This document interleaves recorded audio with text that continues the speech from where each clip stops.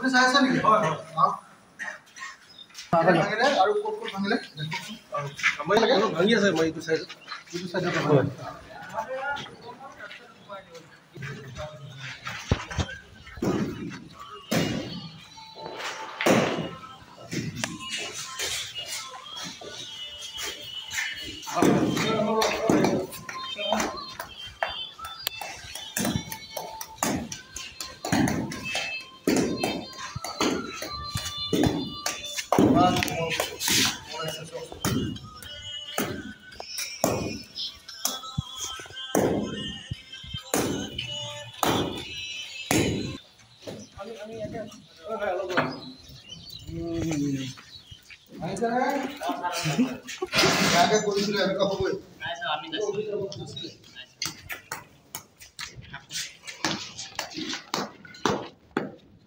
ইমান কোমলকে বনাইছে চব চুলেই ভাগে আৰু চুলেই ভাগে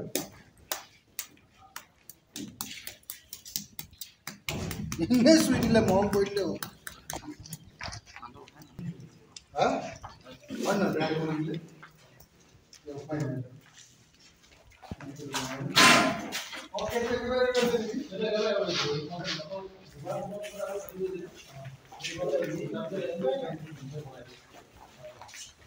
ন কাহিনী কি আছে বুজিছ নাই কাহিনী মানে এটা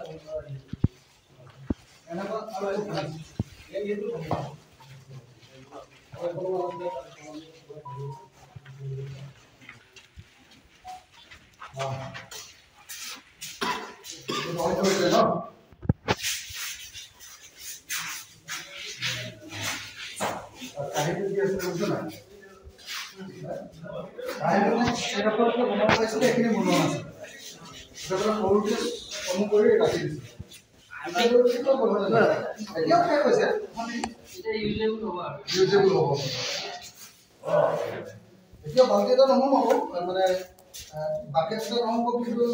কিন্তু অন্তত হ'ব অঁ তেতিয়াহ'লে হৈ গ'ল তেতিয়াহ'লে ধুনীয়াকৈ অঁ অঁ তেতিয়াহ'লে আপুনি পানী কানেকশ্যনটো হেৰি কৰিব তেতিয়াহ'লে একদম কমপ্লিট ধুনীয়া হৈ গ'ল এইকণকে গণ্ডগোল কৰিছিলে নে নাই বাৰু? কেনেকৈ মানুহে ইউজ কৰিলে নে শিৱসাগৰ জিলাৰ যিখন বি এড কলেজ ভাদৰা বি এড কলেজ সেই বি এড কলেজখনৰ নিৰ্মাণৰ কাম অতি নিম্নমানৰ হৈছে আৰু সেই নিম্নমানৰ কাম আমি যোৱা কেইদিনমানৰ আগত পৰিদৰ্শন কৰিছিলোঁ। অসমৰ সন্মানীয় মুখ্যমন্ত্ৰী ডাঙৰীয়াই বি এড কলেজ উদ্বোধন কৰিবলৈ অহাৰ কথা আছিল।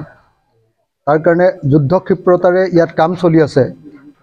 কিন্তু দেখা গ'ল যে বি এড কলেজৰ নিৰ্মাণৰ কাম অত্যন্ত বেয়া।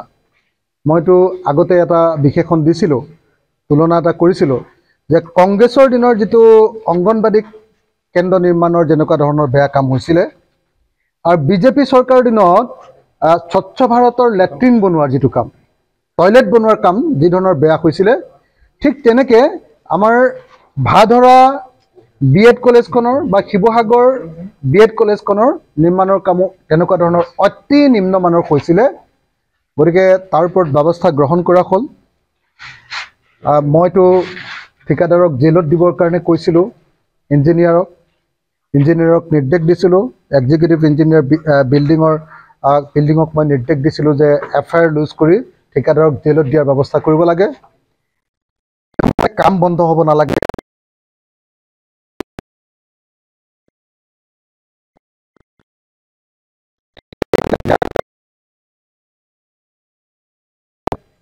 বিশেষকৈ ফ্ল'ৰিংটো গোটেই বি এড কলেজখনৰ যিমান ফ্ল'ৰ আছে মজিয়া সেই মজিয়াখন আটাইবিলাক ভাঙি দিয়া হৈছে।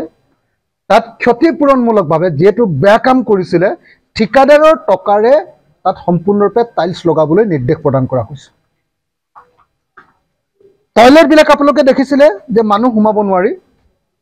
এতিয়া ঠিকাদাৰৰ টকাৰে ক্ষতিপূৰণমূলকভাৱে শাস্তিমূলকভাৱে সেইবিলাক ডাঙৰকৈ বনাবলৈ দিয়া হৈছে। পানীৰ পাইপিঙৰ যিবিলাক কাম হৈছিলে সেইবিলাক আকৌ নাকচ কৰি নতুনকৈ পাইপিং কৰিবলৈ দিয়া হৈছে। যিবিলাক ৱাল ফাটি গৈছিলে সেইবিলাক নতুনকৈ আকৌ মেৰামতি কৰিবলৈ দিয়া হৈছে।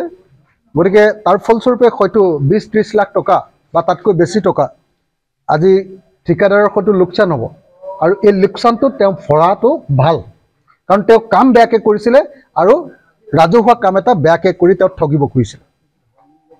গতিকে বি এড কলেজখনৰ এনেকুৱা নিম্নমানৰ কামক পুনৰ ভালকৈ কৰি দিবৰ কাৰণে পি ডব্লিউ ডি বিল্ডিং ডিপাৰ্টমেণ্টে যিখিনি ব্যৱস্থা লৈছে এইখিনিৰ ওপৰত চোকা নজৰ ৰাখিছোঁ।